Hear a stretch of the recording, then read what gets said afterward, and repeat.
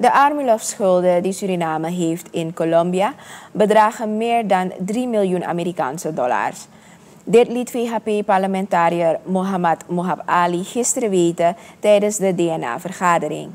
De Armilov-regeling is bedoeld voor patiënten die niet in Suriname behandeld kunnen worden, waarvan een groot deel wordt uitgezonden naar Colombia.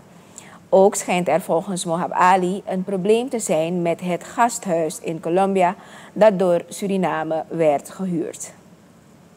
Er is een gasthuis dat werd gehuurd door Suriname in Colombia. Dit, dit gasthuis wordt verkocht, heb ik begrepen. Er is een moeder en een kind daar nu. Ze moeten verhuizen. En de twee ziekenhuizen waar wij schulden hebben in Colombia hebben gedreigd om Suriname voor het gerecht te slepen om de schulden te betalen. Mohab Ali vraagt dringende aandacht voor deze kwestie van de regering.